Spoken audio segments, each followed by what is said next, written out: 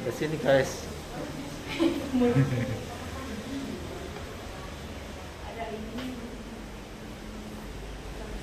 Salam satu jiwa.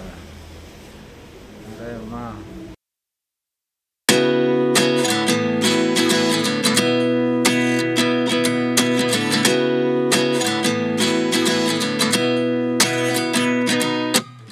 At 29 and I find myself wondering what did happen to the last 10. I ran away with my life, fast forward, never turn back again. It's kind of fun.